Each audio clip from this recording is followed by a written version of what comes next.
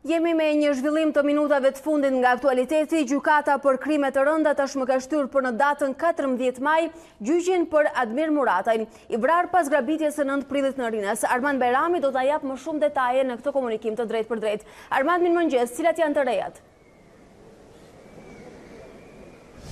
Gjykata për Krimet e Rënda vendosi sot të shtyjë në një datë tjetër gjyqin që po zhvillohet këtu për Admir Muratajn, personi i cili mbeti i vrarë në grabitjen e nëntë prillit në aeroportin e Rinasit. Edhe pse është një fakt që dihet botërisht tashmë që ai është i vrarë për Gjykatën për Krimet e Rënda, duhet të ketë një akt zyrtar, një shkresë zyrtare që mandej edhe kjo gjykatë të vendosi me pushimin e këtij gjykimi. Kujtojmë që në këtë proces, Admir Murataj gjykohet i veçuar në lidhje me tre grabitje të tjera të parave të bankave të nivelit të dytë në goditje të kryera në vitet dy mijë e pesëmbëdhjetë dhe dy mijë e shtatëmbëdhjetë. Kujtojmë që njëra prej tyre ka ndodhur pranë zonës së trenit në kryeqytet, ndërsa dy të tjerat në kthesën e Kasharit. Ndërkohë që në seancën e sotme, ashtu siç pohova, prokuroria nuk paraqiti as një skedë vdekje të Admir Muratajt, po ashtu as akte të tjera nga dosja dhe po ashtu as certifikatë të vdekjes. E gjetur e gjendur në këto kushte, prokurori kërkoi edhe dy javë kohë për për një seancë tjetër, ndërkohë që kjo kohë u duk e pakuptimtë për gjykatën, gjithsesi, u argumentua nga prokurori se gjatë këtyre ditëve ai do të përpiqet të sigurojë të paktën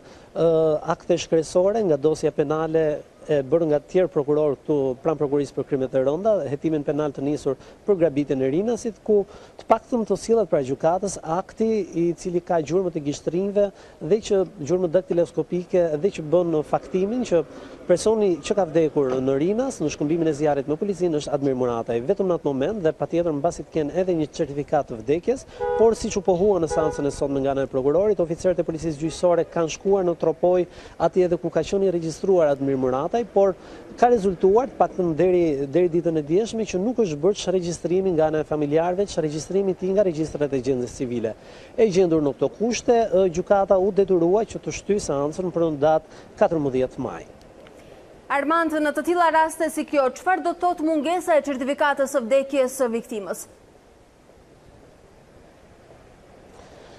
Gjykata e ka të pamundur të pushojë gjykimin nëse nuk ka një certifikatë vdekje, pra është çregjistrimi nga gjendja regjistrat e gjendjes civile që shtetasi